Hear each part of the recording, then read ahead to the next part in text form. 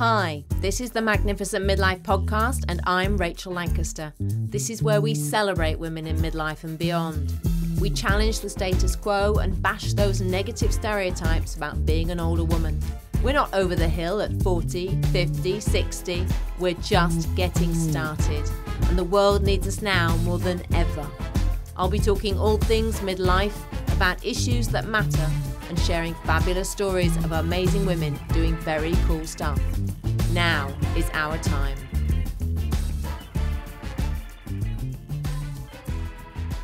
I'm very excited today to interview Cat Corchado, and she is a US Air Force veteran turned founder of the Small Space Pilates community.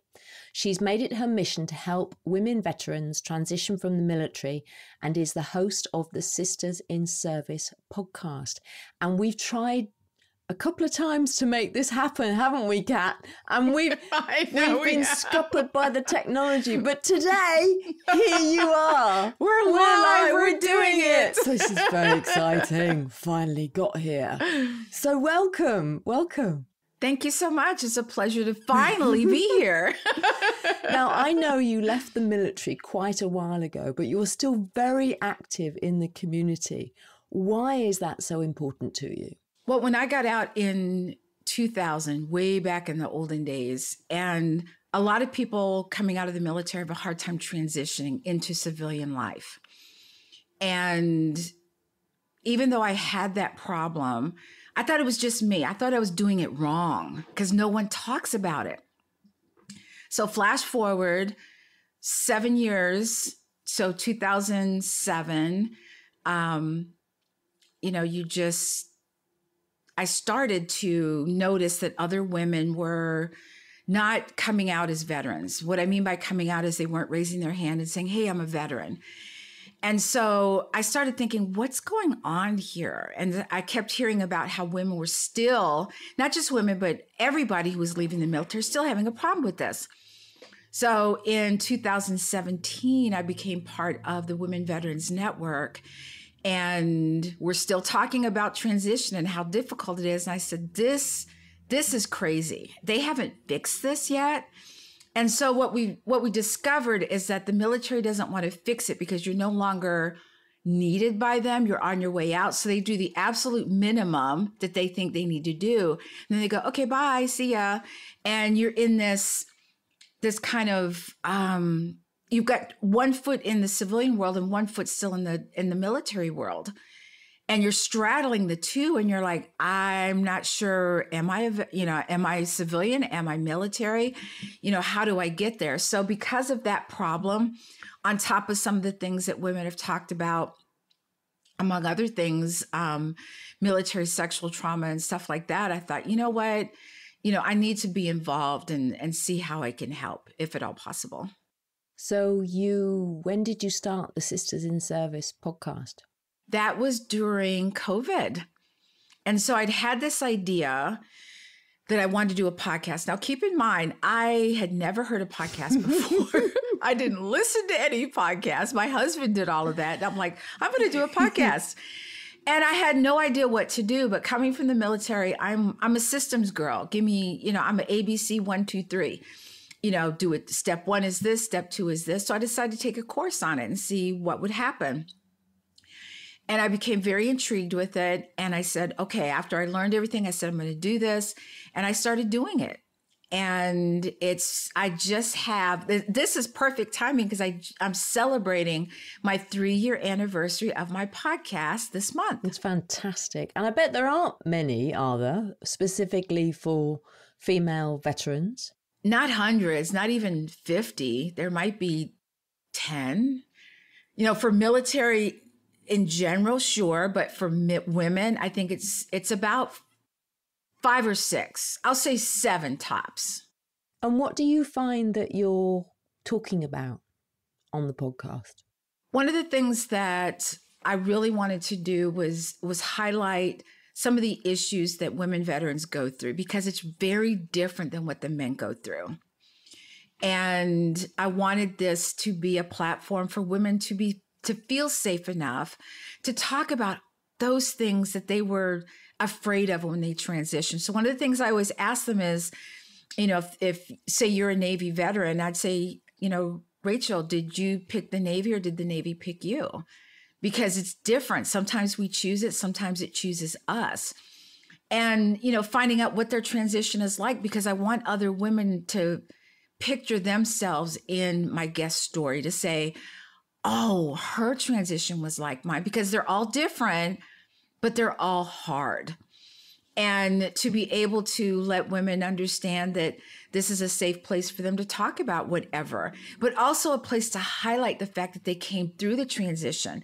Some of them are building businesses, some of them are going into politics. Sometimes eh, they're doing all types of things. They're building nonprofits, they're building these empires, they're writing books.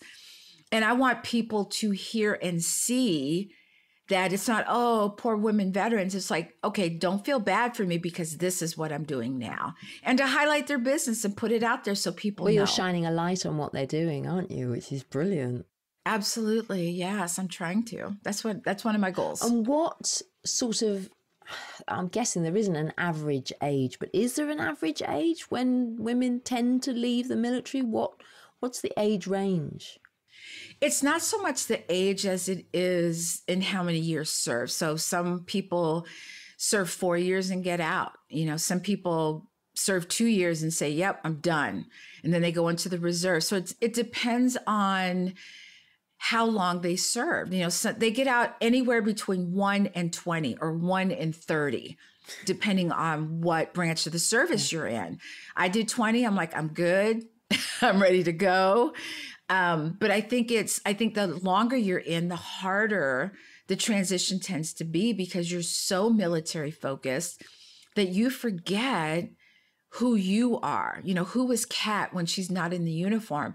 So I always, when I talk to women who are still in the military, I, I give them this exercise. I said, pretend we're at a networking event.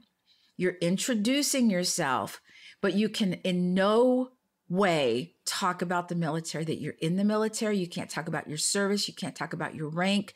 You can't talk about anything. And they can't. It's hard for them. And i said you need to figure out who are you when you don't have that uniform on because the time's going to come when that's going to happen. What kind of hobbies do you have? What are you interested in? What are you doing now? What do you aspire to do or to be or you know whatever that might be and to talk about those, th- those things and then say, oh, yeah, by the way, I'm also a veteran. I think that's really interesting. It's just something that's just occurred to me because women are generally, okay, I'm making a great big generalization here, but I don't think that women are often as defined by their career as men are because women have Absolutely. other things going on. But it sounds a little bit like if you're a veteran as a woman, and especially if you spend a long time in the military, that's as traumatic for you, for a woman as maybe a man having had a 40 50 year career and then retiring and then who are they now? Well absolutely. Women veterans are more likely to become homeless than their male counterparts. Wow. and if you think about it if you have two people in the military, husband and wife, you know, the man goes to his job, he comes home, he might help in the household, maybe not. The woman, the wife, is going to change hats. She's no longer military. Now she's mom. She's, as my mother used to say, chief cook and bottle washer. You know, she does all those things. So if you think about getting out, a lot of times women getting out with children are divorced. So they have control, not control of the kids, but you know, their their sole provider. So you get out of the military, you have to find a job, you have to find a place to live, you have to find schools, you have to find all this stuff. And it's overwhelming on top of everything that you're feeling as a woman getting out of the military. And it's so difficult. If you think about it, a man gets out, he goes, he does some networking, you know, it's it's the good old boys club most of the time and they get a job because of who they know, which which is a great way to find a job by the way, but you know, they don't have to go through all the other stuff. Whereas women have to get out of the military, deal with transition and the kids and the schools and find a job and uh, and moving if they're moving from where they are. And it's a lot to deal with. My goodness. Yeah. I hadn't really appreciated it as as that. I can see that it's it's massive, isn't it? Absolutely. So what first took you into the military and where did you serve? I became a single parent at a very young age. And you know, for your listeners, it, it's one thing when you're hungry, but when your child is crying because they're hungry, it's a whole different reality. And I was born into the military. My dad was military, you, um, Air Force. And so I traveled all over the country, different countries, you know, and, and I got to know a little bit about the Air Force. And so when it came down to what do I want to do, I actually decided to go in the Air Force because it's something I was familiar with. But I said, you know, I'm going to go in for four years, give my head some time to, you know, figure out what I want to do. I'm bringing in some money. You know, we have a place to live, etc. And I ended up staying 20 years. but I got to go to some amazing places. You know, with with my dad, I got to go to England and and Germany. We got to visit you know, France. We got to visit Spain. When I was in, my first tour duty was Azores, Portugal. I got to go to Korea. Um, I mean, just some countries that a lot of kids just see on TV or in pictures. And I got to experience it. I got to experience the food, the culture, all of that. And it was, it's an amazing education. And I've just been reminded of the conversation that we had when I came on your podcast to talk about menopause, and you expressed your appreciation for Cadbury's chocolate. yes. no, yes. this Hershey's rubbish. Sorry, American listeners. I know. No, no Hershey's rubbish. No Hershey's rubbish. I, to this day, I'm a chocolate snob, you know, Bravo. and my mother um, we grew up on Cadbury's. It was the first chocolate I can remember was coming from my mom.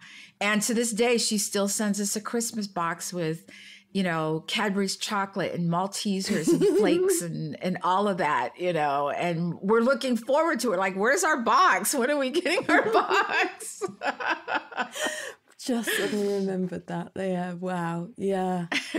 wow, so you traveled you traveled all over all over, didn't you? Yeah. Absolutely. I was actually born in England. Ah.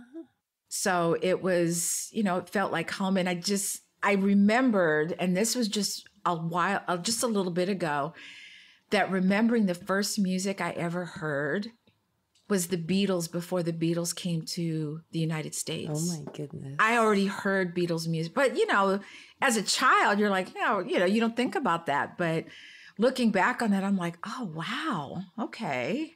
I'm kind of special. I'm just going to say. Yeah, yeah, absolutely. and what was what was your own transition like when you left the military? Well, a lot of people leaving have this trepidation and this fear of of leaving the military and rightfully so. I was ready. I always tell people I was like, you know, if you anybody who's a sports fan listening, I was like that first round draft pick out of college. Just knowing you know, I walked out and I expected music, streamers, mu- you know, all this stuff, and companies throwing contracts at me. Yo, pick us, pick us. And there was nothing there. There was nobody there. And I, I jokingly say I thought I had the wrong day. Um, but it, I thought, okay, what is this? You know, I get out, I'm doing my thing, but I kept feeling this, this something. And now I realize I was mourning the loss of my service. And you mourn it. You actually do. You know, it's like when your kids are with you, with you, with you, and then they go to college and you go, oh my, I didn't think I was going to miss, you know, the, this little person. And it was difficult, but I didn't know that's what it was, Rachel. Okay. I did not know that's what it was. And so I, I just kind of kept it to myself because nobody came back and said, "Oh, transition is greater. "Oh, transition is horrible." It's just that it's, it's like this little dirty word that no one wanted to talk about at the time. So when I got out, it it just felt like I thought I was doing it wrong, although I don't know how you were supposed to do it. But you know, I found myself on my feet. It feels like you're kind of on you know, if you're balancing, you know, you're like, oh, you're wobbling and you don't feel steady. That's how I felt was that I was not steady on my feet. And I finally found myself on, you know, steady ground and but I still didn't feel right. I still didn't feel like I had the whole transition thing down. And I think it was because I just didn't come out and say I'm a veteran. And once you acknowledge that, once you really embrace it, it changes everything about you. And so once I did that, once I said, you know what, I'm a veteran, why am I hiding this? And uh, it changed my whole perspective. How? Once you acknowledge it, you realize that you had a hard transition and you're not afraid to say it out loud. And what I want to say that is this is that a lot of times women, even in their own families, are considered not they're not veterans. If you didn't fight in a war, you're not a veteran. Oh, you only served in in this branch of the service. The Air Force gets a lot of jokes. Oh, chair force, you know, and all this other stuff. I don't look like a veteran. I've been told that um, I've parked in veteran parking. There's a, a supermarket here that has veteran parking, and I've been challenged on several occasions. You know, why are you parking here? This is for veterans only. And I'm like, yes, I know. And even on the back of my license plate, it says U.S. Air Force retired. And yet they assume by looking at me that I'm not a veteran. But as I've gotten older, I'm very adamant. You know, I don't get nasty, I don't get verbal you know, I've had people say, I'm going to call the cops on you. I'm like, okay, tell them I'm in the supermarket shopping. And when they get here, I'll gladly speak to them. And they're they're kind of taken aback by my attitude. I don't get mad anymore. I'm a veteran. I I can prove that I'm a veteran. So, you know, you're the one that has the issue. But it's it's as I've gotten older and the longer I've been out, it's become very, very it's it's part of who I am. Being a veteran is who part of who you yeah, are. It's yeah, part yeah, of your life. Mm-hmm. And so I don't want to just say, "Oh yeah, you know, I'm I'm a veteran." No, when baseball games when they, you know, they say all the veterans stand up, I willingly stand up. You know, so I do all of that. This is such a difference culturally between the US and the UK. And I I actually in in another life that people won't know about, but I, I still write an annual report every year for a big, huge British company. And I've done it now. It's about 15 years I've done it. And they keep coming back, bless them. And um, I know every year it's like, can you rewrite our story again? Yeah, yeah, I that. But most of, well, not most, but a big proportion of their business is in the States. And it's a rental business. And they take great pride in employing lots of veterans. And then that has transferred to their British business as well, which is also now looking at employing lots of veterans because there are loads of transferable skills yes that they can make the most of and they find that their veterans do so well in their you know rental business that they have and for example, they're one of the biggest players when there's a big disaster, um, whether that be a weather disaster or whatever, you know, um, they are first on the ground. They are the first responders providing the rental equipment that people need to put things back together. And what has been fascinating for me, because here in the UK, we don't really recognise veterans. I mean, there's you talking about you parking in a spot for veterans. There's no parking for veterans here in the UK. Whereas I know that this company, their people, they have uniforms, obviously, because they work for the company, but they have a badge on their uniform if they are a veteran. I love so that. they are automatically both internally they are recognized as a veteran and they are recognized as a veteran with their customers. And i i think that's really powerful and i really like that. But it's completely something new to the UK because you know and and i think what you've talked about this this difficulty of transition this you know not claiming that you are a veteran not owning it not being out there because it's it's a contentious issue even over here. It's a political issue over here. And it really, I don't think it should be. It shouldn't be because shouldn't if you're be. a veteran, you've given service for your country, and that's that's ultimately what's important. Whether or not you agree with the government of the day and where they're sending the military, it's the fact that you gave service and so it's really it's interesting to hear you talk about that because you know and you'd never you'd never get a football game people saying veterans stand up it just wouldn't happen over Yeah. here but It why should. not it Yeah, should it should. i think it'd be really nice yeah we have remembrance sunday once once a Mhm. year and then you know that's really the only time that we reckon Mhm. and then we do it because we're really we're remembering the war not necessarily the veterans Exactly. Even on, we have what's called Memorial Day Mm. in May, and people go, Happy Memorial Day. And I'm like, no, Mm, this is in memoriam of all of those who fought for our country and passed away. mm. So it's not happy Memorial Day. It's happy to you because it's a day off. It's a three day weekend. but for those of us as, that served, we're the ones that, you know, we remember, you know, why we have the freedoms that we have because these people gave the ultimate sacrifice so that you can go to the beach on your three day weekend. So, yeah, it's the same thing. It's just different levels of it.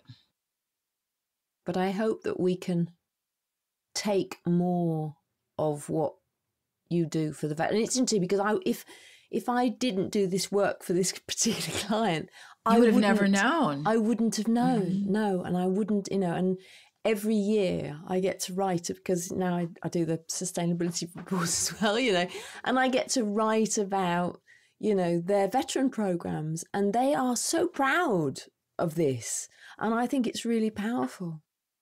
It's better now than it used to be. When I got out, it was, you know, no one knew how to transfer my skills.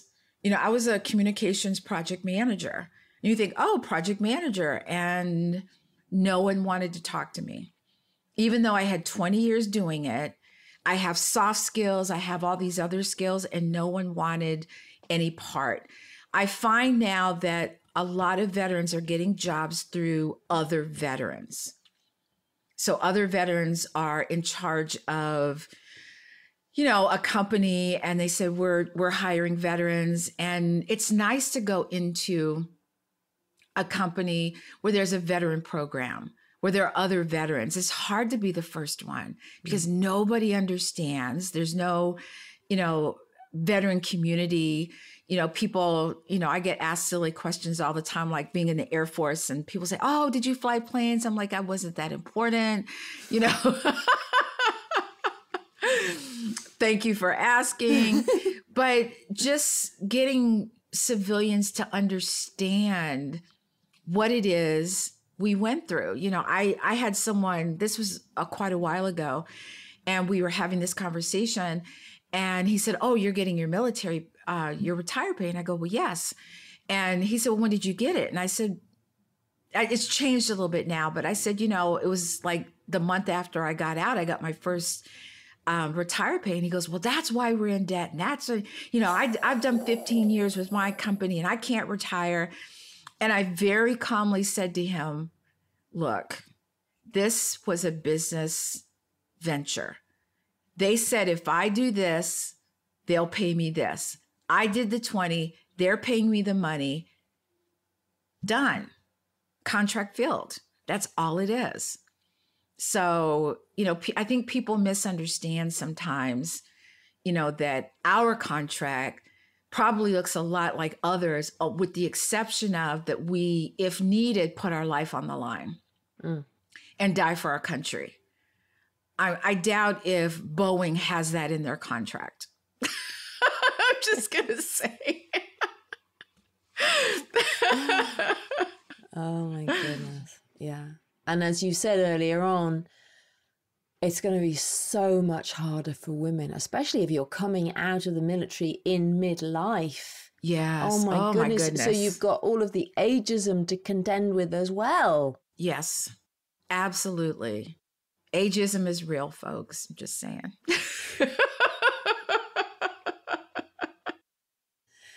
So, what did you end up doing? Well, it's it's funny you ask that question. So, being in the military, you don't make as much money as people think. And I was a single parent. So I remember this was before paychecks went automatically into your account. And I would cash my little check and I would have $10 left over and I would just fold it up and put it in my wallet for those times when I needed bread or I needed milk or whatever. And I I've always been fit. So I've always wanted to you know stay fit even after getting out of the military. And so I started, you know, going to a, a fitness center and I was that that workout nerd. Okay, so you know that person where the instructor's in front of you and that there's always that one person that's to the right or the left of the instructor doing exactly like the instructor. That was me. Okay, that was me. Yes, I was that nerd. And what I didn't realize is that she was active duty military and she turned to me one day and she said, I'm getting ready to leave. Would you like to take over the class? Wow. And so this was back in the day. This was 1984, you guys, 1984. And I think they paid $5 a class. $5 a class. And I was happy. I was like, yeah, how many classes can I do? When do I get paid? And it was a little bit of extra money. And so when I started transitioning, I tried to do the traditional thing. And I just realized I don't want to do this anymore. I don't want to sit down at a desk and have people tell me what to do and and all this other stuff. I did that for 20 years. So I talked to my husband and I said, "Let me see if this fitness thing will work." I said, "Can you give me 6 months to a year to see if I can do it?" And I was good at it. And I made some great money at it. And so that's how I left the corporate world behind and started doing fitness full time. So I have 39 and a half years in the fitness industry. Wow. I know. I'm actually 89, y'all. Just saying. No. I look good, right? you look great. wow. Wow. So you're still doing that now? I am. I'm still doing um I've added on. I'm I'm no longer teaching classes, but I do personal training and Pilates. And I do that with clientele. But I, I just launched last year, which is the one year anniversary this month of Small Space Pilates, which incorporates um, weight training, Pilates, and stretching in a workout that you can do in the comfort of your own home. And it's it's been a ride. It's been awesome. And you work a lot with women in our age bracket, don't you? Yes. I want women to understand that, you know, as we get older, a lot of women pull away from using weights. They're like, oh, I don't, I don't think I should wear, you know, do weights. But what you may not know is that if you don't do anything after the age of 30, you can lose anywhere between 3 and 8% of your muscle mass every decade. So if you're 50 or 55 or 6 guess what? You've lost a lot of muscle. It doesn't mean you can't get it back. It just means that why lose it? Just keep it because it helps with your metabolism. It helps with all kinds of things. You know if you get sick it helps to you know build up your immunity i feel. You know it, it helps to keep that. So I'm sorry, I'm getting on my soapbox. What no, you saying, no, you stay on your soapbox. you stay on your soapbox because it's so it is so important, and and I think women don't realize it. And I think in previous lives, we used to like keep our muscles more because we were having to do so much physical yes. work, weren't we? Whereas yes. now we have all the machines that do everything for us. And we're so sedentary that we're not actually doing that. So we have to replace that with actually lifting the weights. Well, I think we have the the ageism thing against ourselves. You know, how many times have you heard a woman say, "Oh, well, I can't have long hair because I'm I'm this age now." You know, "Oh, I I don't need to do weights anymore because I'm a grandma," or you know, those types of things that we tell ourselves. And I'm fighting it every step of the way. You know, when when it's time for me to go, I'm gonna be like, "Can you just hold on one minute while I finish this set?" and I want to go kicking and screaming. You know, I want to if it's time to go, it's time to go. But I, I think of my 70s and my 80s, and I see some of these people who are much younger than I am that already have back issues and a shoulder issue and a knee issue. And I think, what are they going to be like at my age? Mm. Mm. And so I want to be 70 and 80 years old and being able to get around on my own steam. Mm. I don't need help across the street. I'll take it, but I don't need it. Mm. But, you know, being able to just feel good and and be that person that I've always wanted to be at 70 and 80 where I'm feisty as hell. Mm. You know, don't don't you know, don't come at me with, "Oh, hi Nana." Be like, "No. No." Don't call me Nana. I've actually, uh, well, for years, I would, if my bag was really heavy, I would let my husband carry it because he's pretty strong, and I've stopped doing that now. I've actually, and and somebody offered to carry my bag the other day, and I said, "Well, no, actually, this is my weightlifting. It's your yes. this is this is you know yes. me getting my weight in mm-hmm. as I'm traveling to the airport. So thank you, but no." Well, I think it's important for people to understand that we're all busy. Okay. And so people say, oh, I don't have 20 minutes. I don't have 30 minutes. But what if I told you that you could start working out in 11 minutes a day? It's a good place to start. Don't tell me you don't have 11 minutes because I know better. You do have 11 minutes. It starts there. And to, to reframe how we think of working out, we think of weight training, we think of cardio, we think of sweating, we think of, uh, you know, what about a dance break for five minutes? You know, at, with your favorite playlist? What about walking around wherever you, you know, live, you know, walking around the block for five minutes? You know, reframe how, what you think of as exercise. You know, when I clean the house, I put my Apple Watch on and I'm cleaning the house. And yes, I do burn calories doing that. So we have to reframe what we think of as exercise because a lot of things, walking the dog, yes, that counts as exercise. So, you know, I think we just need to reframe how we think about it. I think often it's easier to talk in terms of movement, isn't it? I think people yes. often really they don't like the word exercise, but if you talk in terms of movement or fitness, yeah. yeah. If I start to say movement, then people kind of lean in and go, "Oh, what do you mean?" Oh, yeah. And then I start off with the dancing and the you know all of this other stuff. I just recently, as recently as June, started roller skating again at the age of really? 66. I wow. did. Wow. Okay. I remember seriously impressed. I remembered way back in the day, there was about two years when I was between nine and 11 or eight and 10, something like that. I lived in roller skates. That was my mode of transportation, that and a bike, but roller skating was more fun. And I thought, I want to do that. And so I did. I bought my roller skates for my birthday. I've been roller skating. And honestly, when I have my roller skates on, I think of nothing else but, ha- and afterwards, when I take them off, I think, oh my God, that was so much fun. That's all I think about. But it's is, a brilliant much... form of exercise. I know yes, that. Yes. I don't think I'm ever going to be able to do it, to be honest, because I didn't learn mm-hmm. before and now I'm too scared. So I don't know. Maybe, and I think that's what it is. It, it might it's, be it's fear. Fear that stops me. Yeah. yeah. But a lot of people say, well, aren't you afraid? And I'm like, afraid of what? Oh, aren't you? What about you fall down? I go, I have protective gear. What if you break a hip? I'm not going to break a hip. I'm a fitness instructor. I'm a personal trainer. I'm a Pilates instructor. So I'm not going to break anything, mm. you know. And if I thought that I was going to break something, I wouldn't have bought the skates. But you know, mm. I'm like, you know what? I'm I just think of it as having fun. I don't think yeah. about it as falling down. Yeah. Because if I if you think about falling down, guess what? You'll You're going to fall down. Good for you. Good for you. So why I have I've never been a fan of Pilates. I love mm-hmm. yoga. So why why should women do Pilates? Good question. I think Pilates really pays attention to how your body is in space.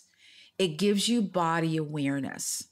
So what I mean by that is you know, so many times I will point out to clients that they're sinking into one hip or they're sitting like this or and they have no clue that they're doing that.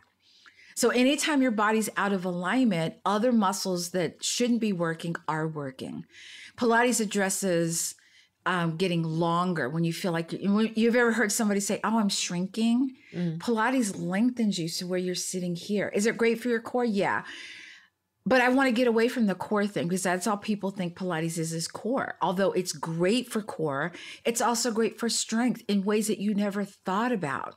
Mm. And it's a great way to just understand where your body is in space and how your body is is applied to to pilates meaning we do an exercise and you're like you know i might say okay you know lay on your stomach blah blah blah and they go okay and then they do it and they go why is this so hard and so it's understanding that we're overusing some muscles and underusing other muscles. Women have a tendency to overuse their quad muscle, the front of their thigh, underuse their bottom. They haven't spoken or talked about their bottom in years, unless it's in a bathing suit, and their inner thighs don't work.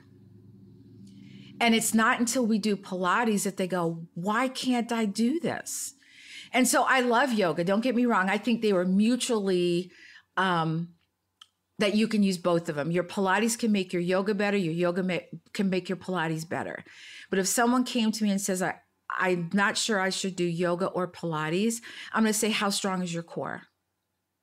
And they're like, I have no core. Start with Pilates. Then you can go to yoga and then do both if you want to. But I, I think it's important for not only men, um, not only women, but men also. If you play golf, any sports, you need Pilates. I have, you know, a couple of NFL players that I, I take through um, a Pilates workout. Dancers, if you're, you know, ballet, they they're doing Pilates. You know, so it doesn't matter whether you've done Pilates or not.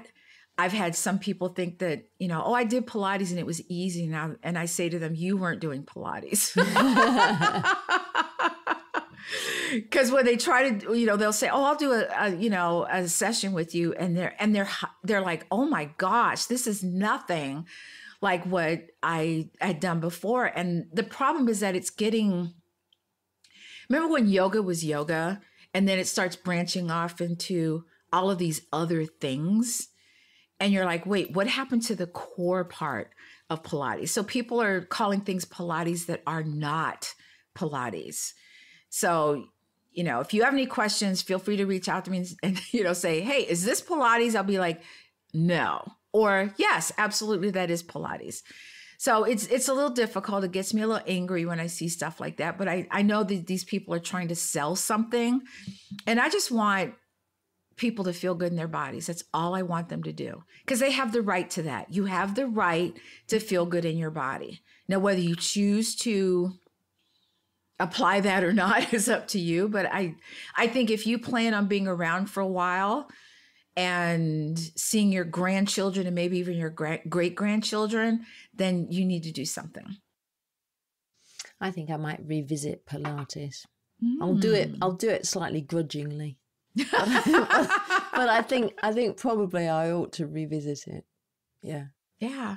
You never know. I mean, it's, I always tell people when you're trying to find an instructor, whether it's yoga, Pilates, personal training, have three people that you want to interview and interview them.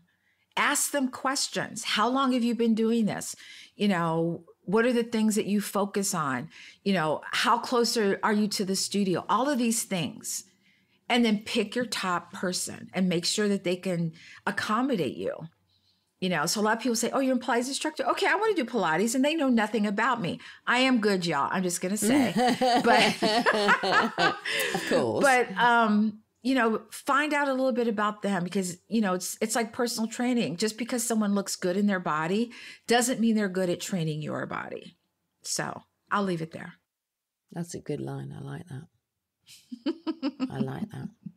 Now, before we hit record, we were having a little conversation about busyness. Yes. And I said, let's talk about that when we're actually recording because I think that's interesting. And I think a lot of women, our age group, get stuck in busyness. And I've been talking about this with a lot of friends, colleagues recently. And I think there is a real danger of burnout. Yes. Um, there's a real danger of, you know, we're burning the candle at both ends. We're trying to be everything to everybody and we can get stuck in the busyness. So, what does it mean for you to be stuck in the busyness? I think a lot of times as we get older, we say yes to things that we really don't want to say yes to. And as I've gotten older, you know, when someone says, Hey, you want to go to lunch? And you really want to, but it's on a day when you're back to back with stuff. And so you say yes, and now you're even busier. And so as I've gotten older, I just realized that I want to do something, but maybe the day and time that someone wants me to do it doesn't work for me. No doesn't mean no forever. It just means no right now. Mm. And really choosing to slow down a little bit. A lot of people don't like that word slow down. But sometimes when you slow down, you go, why was I doing all that hot mess, making myself crazy, not sleeping well, not eating well? And once you get rid of that, you just, you just have this time. And so what I've found is that when I am at a point where everything is just working, meaning I'm not over busy, I'm not under busy. I always take a day off. It's called Catitude Day, which is Sunday and I do absolutely nothing, or I do whatever I want to do on that day with no judgment. And I find that I'm more creative. I can get more done the following week. So I look at my schedule, and even though a client might reach out to me say, Hey, can you do this day at this time? And even though I can, doesn't mean I should. Mm-hmm. And if it's back to back to back, I'm going to say no because it's not serving me. If it serves both of us, fine. But if it's not serving me or it's going to put me in the state of anxiety, then I'm going to say no. It's really important, isn't it? Getting that balance because you're a passionate woman. I'm a passionate woman. We've got things we want to do, we've got lives we want to change. Yes. But we've, as you say, it's got to serve us as well as serving other people. And yeah, we can get very stuck in the business. I have to take a breath. I have to think, okay, yeah, can I sustain this? Do I need to slightly step back a little bit and manage my energy better?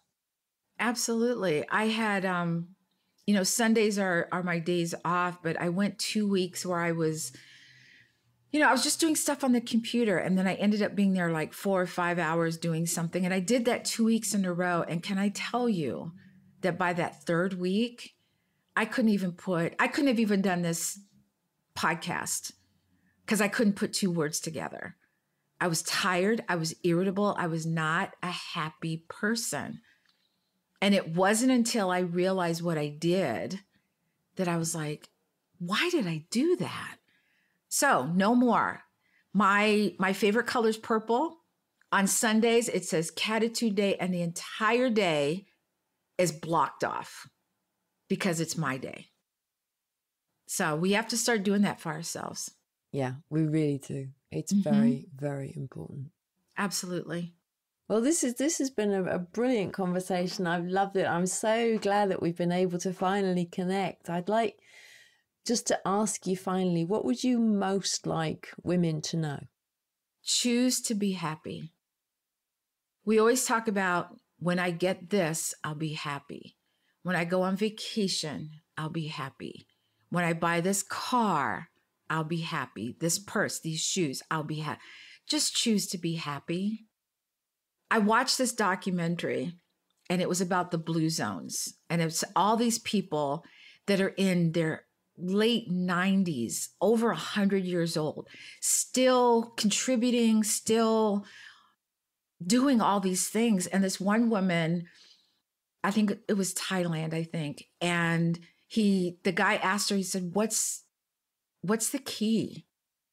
And she said, Move daily and do what you love and choose to be happy. And I said, There it is. So choose, make the conscious choice to be happy. Thanks for listening to this episode of the Magnificent Midlife Podcast.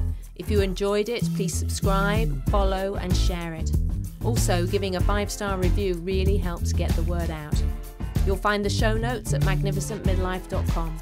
That's also where you can get my book, Magnificent Midlife Transform Your Middle Years, Menopause, and Beyond. Make the very best of your next chapter. Help me change the world, one magnificent midlife woman at a time.